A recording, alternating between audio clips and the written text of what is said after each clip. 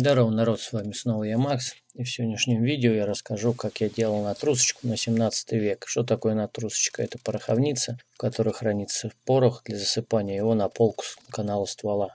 Но да суть дела не в этом. А, я, как бы пообщавшись с многими людьми, они мне подсказали, рассказали кое-какие вещи. Эти люди непосредственно были в запасниках музеев, трогали такие предметы, смотрели их изнутри, как они устроены, как сделаны. Они мне многие вещи рассказали, подсказали.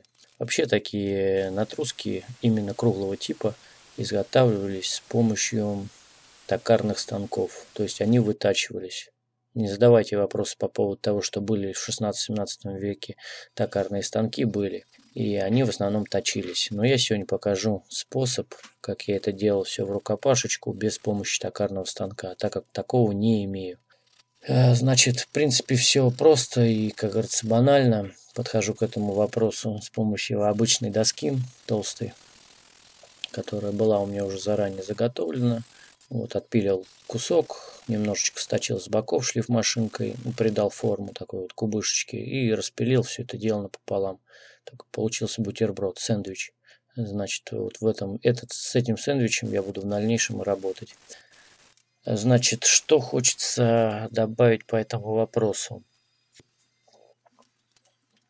Э, материал, который в основном использовался для изготовления таких натрусок, э, были плодовые деревья. Это груша, яблоня, бук. Но так как у нас с этим тяжело, у меня были куски груши, но которые я сушил, они полопались все. И ни один кусок не подошел. Значит, э, использую я сосну. То, что, в принципе, под рукой. Потому что у меня появилось желание, но я не стал ждать, когда я добуду материал, необходимый для работы. И начал как говорится, работать именно с тем материалом, который у меня был. Значит, обод это у меня полтора миллиметровый кусочек стали, ну, как говорится, полоску, которую я взял. Значит, таким образом она обжимает вот две чашки и держит. Я сначала, когда начал изготавливать, еще не знал, что обстукивать вот этот обод не надо. То есть я немножко сделал его таким выпуклым. Э, на самом деле он прямой, и он как бы должен схватывать две эти чашки и плотно держать их между собой.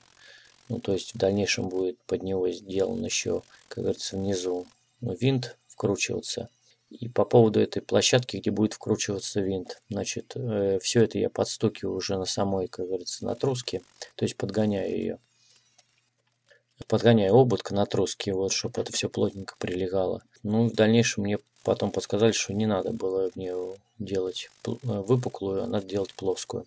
Вот таким способом все это будет держаться между собой. И приступая к упору вот на винт, вот таким способом я просто прокрутил вот эти вот две площадки, вот которые я сейчас нарезаю резьбу, они, собственно, делаются намного толще. То есть материал берется где-то там от 3-5 миллиметров, ну, может быть, до 7-6 миллиметров.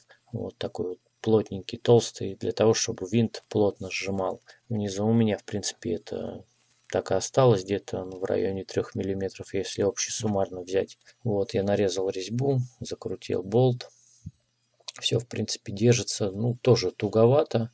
Ну, я думаю, когда еще я буду когда-то раскручивать эту конструкцию, навряд ли. Вот таким вот способом получилось. Все это лишнее потом обрежу. Соответственно, мне это не нужно. Плюс я сделал для себя еще такой нюанс, что я практически не видел никогда, чтобы кто-то разбирал такие вещи. Ну, то есть, вот эти две чашки, снимал их вот таким способом. Что хотелось бы добавить по этому поводу еще? Так как токарника нету, носик я буду вытачивать вот таким вот примитивным способом на дрели вот, делая канавки и всевозможные вот упоры, шлифуя это все.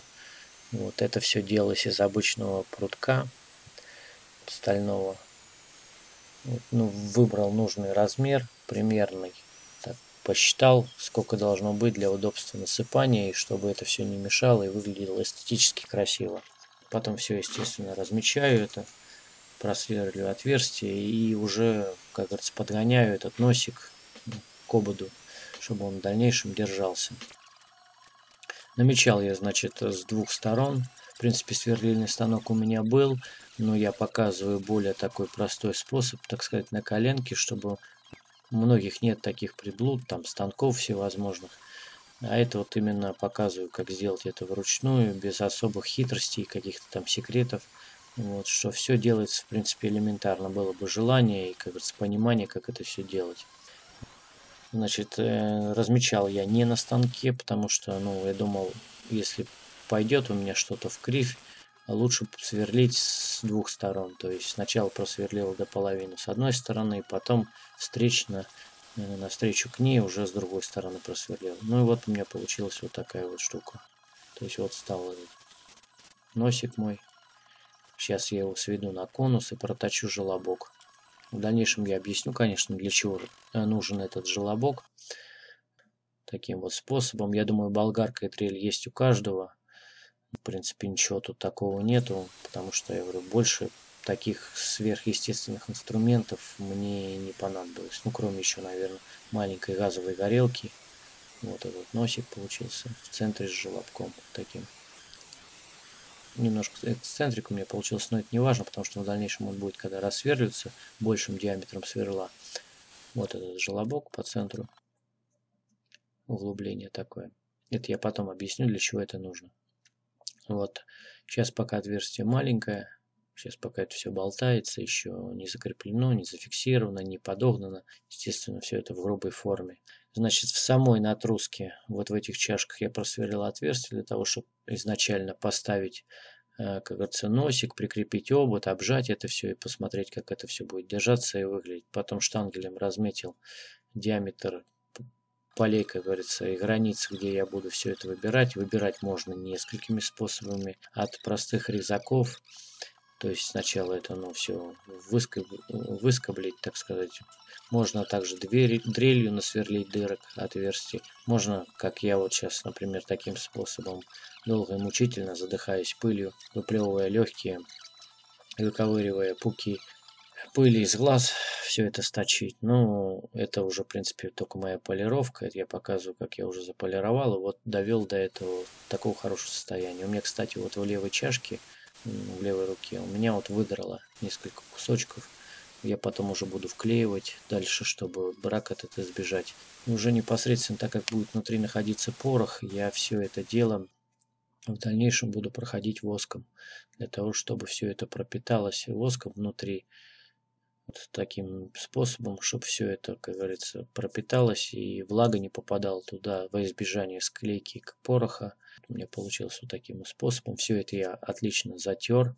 То есть у меня нет там никаких э, эффектов воска не осталось.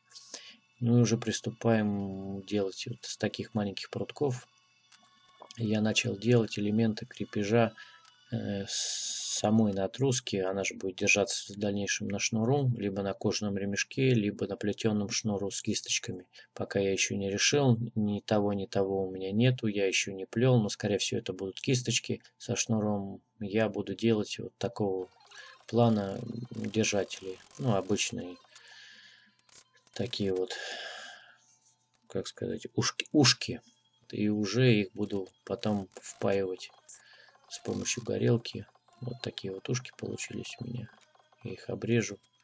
Сейчас покороче. Сначала я думал это все дело вообще вставить, расплющить и уже посмотреть, ну как это будет выглядеть. Но потом, когда понял то, что вот эти усики, которые надо плющить, либо их надо утончать и потом немножко выбирать в самой натруске паз, чтобы это все плотно прилегло. Ну, я решил не заморачиваться, таким способом не делать, а более подойти к такому реконструкторскому, как говорится, подходу и все как раньше сделать запаять. То есть запаять латунью, кусочками латуни, все это впаять. Но так как мы приближаемся все-таки непосредственно к тому, что сделать правильно, вот так вот я забубенил и буду сейчас запаивать все дело. Сначала у меня ничего не получалось, я что-то как-то даже думал, что все это фуфламициновая мазь. Использовал мало буры. Бура играет тут ключевую роль.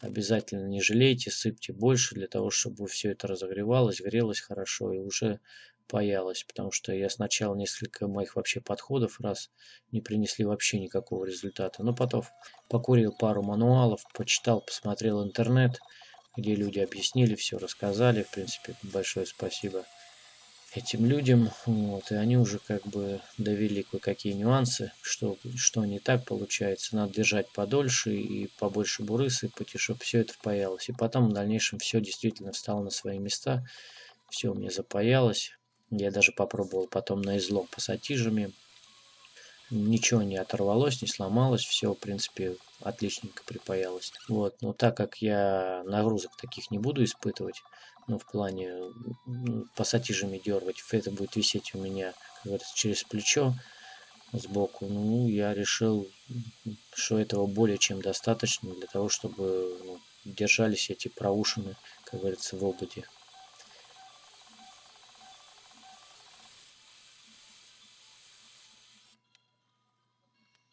Вот такая конструкция получилась. Сначала сделал одну сторону, потом вторую сторону таким же макаром. Ну и, соответственно, все это потом внутри зачистил, а, чтобы все у меня плотно прилегало к самой деревянной части натруски. Потому что вот эти всевозможные бугорки и отхождения, они как бы потом влияют, когда все начинает конструкция становиться на место, собираться, она начинает влиять. И надо, чтобы обод очень плотно прижимал две эти чашки между собой. После того, как я сделал уши, я уже, соответственно, перехожу к запайке носика. Вот этому, которую я вытачиваю на дрели. Чтобы у меня он тоже плотно держался. Его самое главное здесь выставить ровно. И тут надо придерживать все. Как бы немножечко меня сначала пошло все не так, но потом я немножко подрасплавил, зафиксировал все и уже сделал более ровно немножко в кривь у меня носик пошел. Ну, потому что одному человеку и держать, и паять, и все это фиксировать очень неудобно. Ну, самое главное, как подойти к этому творчески. Можно, конечно, было заварить это все сваркой, но, еще раз повторюсь, так как мы приближаемся к реконструкции, я показываю способ, как это сделать без сложных каких-то приспособлений, типа как сварки. Все я это делал за счет простых элементарных вещей, которые можно найти в быту и которые, в принципе, такие вещи, как дрель, болгарка, есть у каждого человека. И самое главное, тут самое главное желание. Ну, газовую горелку можно купить, она стоит недорого, там, и плюс газовые баллоны. Достать буру, тоже я не считаю проблемой это. Ну, смотря кто где живет и кто, как э, говорится, занимается, какими делами. Бывает в некоторых моментах она очень не распространена, но раньше продавалась она в аптеке. Ну, я ее нашел на рынке, в принципе, у нас подогнали мне пакет буры. Так, вот так это все выглядит. И уже латунный прудок, конечно, я заказывал по интернету. Мне Паша привозил его с Питера, вот присылал, вернее, мой знакомый. Вот он как раз мне объяснял по натрускам все, как вот, как что, чего. Вот так вот эта конструкция выглядит. Сейчас уже в дальнейшем пойдет процесс подгонки самой вот этой чашки, чтобы одна к другой прилегала очень плотно чтобы нигде ничего не мешало, не было зазоров, чтобы все вот лежало как надо. То есть э, в дальнейшем порох будет где-то просыпаться, где-то будет измельчен. И я вообще в избежание того, чтобы он где-то вообще вываливался, я их решил склеить. Они не клеены, я так понимаю, не сделаны для того, чтобы если вдруг повредится одна чашка или две чашки, чтобы можно было легко скинуть ее с обода и, как говорится, заменить другой. Но так как я практически этого не видел, и я не приближаюсь к реальным боевым сценам в плане того, что где-то ее ломать, да, если только по чистой случайности ее можно сломать, но я решил ее склеить. И засыпаться порох будет у меня через верх. Все, сейчас пойдет процесс подгонки э, самой вот этой конструкции, то есть самой круглой чашки и ну, чистка, полировка, потому что сейчас буду наносить рисунок, так как я брал натруску с музейного экспоната, который непосредственно находится в музее, не помню в каком, врать не буду, но она с рисунком, мне она очень понравилась, и я решил именно делать такую вот себе. В принципе, в размеры я попал. С рисунком я тоже посчитал, посмотрел. В дальнейшем я, конечно, покажу, как она выглядит. Вот. Сейчас будет процесс нанесения самого узора. И уже вот, кстати, вы видите под моей натруской, которую я разрисовываю, сейчас вот находится вот листок. Я еще покажу в дальнейшем этот листок, вот этот музейный экспонат. Сама вот этот обод, носик и возвратно-пружинный механизм, он вообще сделан из латуни Так как с латунью у нас вообще проблема, мне пришлось сделать из металла. Будет металлическая. Но концепция чуть поменялась в плане металла и, ну, как говорится, цветного на чермет я перешел. Но суть дела не в этом. Э, все пропорции соблюдены. Я постарался приблизиться по максимуму к этому, как говорится, к, этой, к этому музейному экспонату. Значит, такой вот узор у меня получается. Вот, в дальнейшем вы увидите. Это процесс такой долгий, утомительный, потому что надо прорезать каждую там полосочку. А, вот эти вот контуры, которые ну, по кругу делаются, они тоже вытачиваются на станке. Но так как у меня ручная работа, и все я делал вручную, подгонял. Есть небольшие огрехи, но они незаметны и не видны. В дальнейшем идет процесс полировки, и уже потом непосредственно я переступлю к процессу покраски.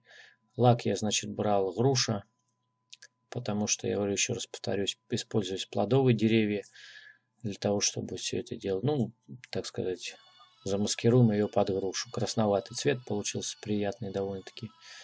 И сейчас, наверное, для меня это был самый тяжелый процесс. Это будет процесс изготовления возвратного механизма. Вот она какая получилась. Сразу морилка и лак. Значит, Возвратный механизм я тоже делал из прутка, грел его, плющил.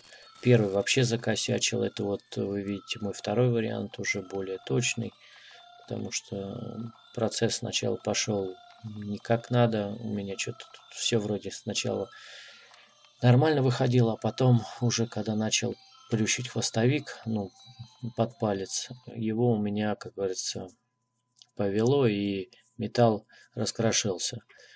Мне уже в дальнейшем пришлось прибегнуть ко второму варианту. Вот этому еще один пруток был взят. И сделана вот такая буква ЗЮ. Вот сейчас я покажу. Это вот как раз именно вот под палец. Чтобы нажимать пальчиком. Сверху я сделал клапан закрывной.